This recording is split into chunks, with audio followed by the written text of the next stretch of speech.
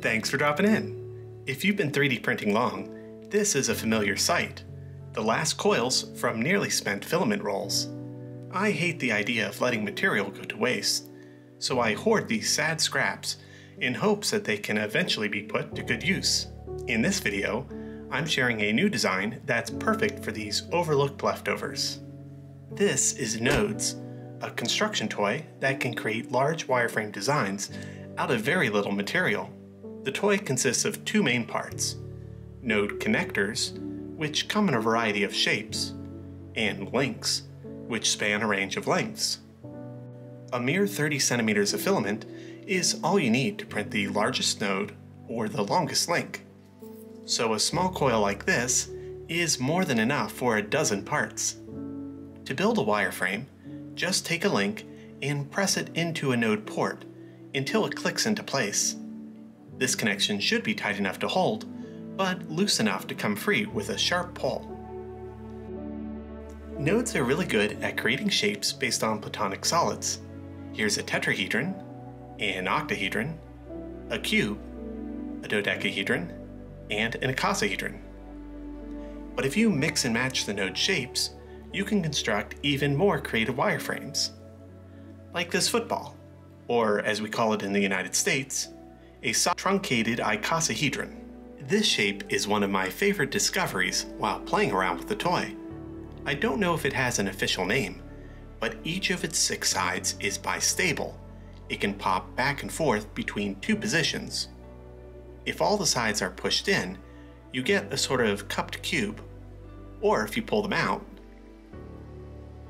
you get a lumpy sphere. It also has some interesting shapes when only some of the sides are pushed in. Transforming the object back and forth makes for a fun fidget.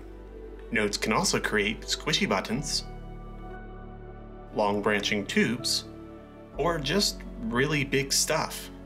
You probably noticed that many of these examples are quite flexible.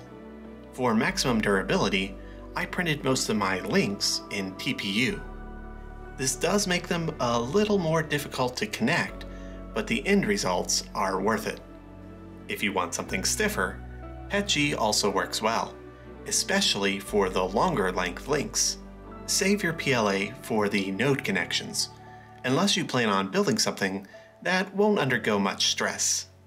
If you have some spare filament scraps in printer time, this design will be available for free on printables and Thangs.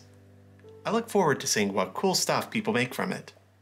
But until then, happy printing and thanks for stopping by.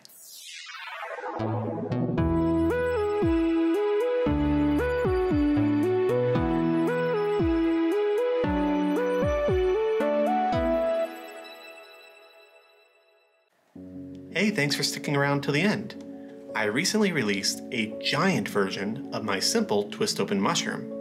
And just for fun, I decided to print a few copies in glow in the dark filament.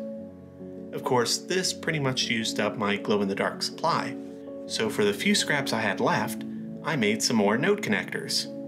I think these look really great in glow in the dark. I might just need to buy some more glow in the dark filament just to make more of these. I know that kind of defeats the purpose, but hey, who can argue with these results? See you next time!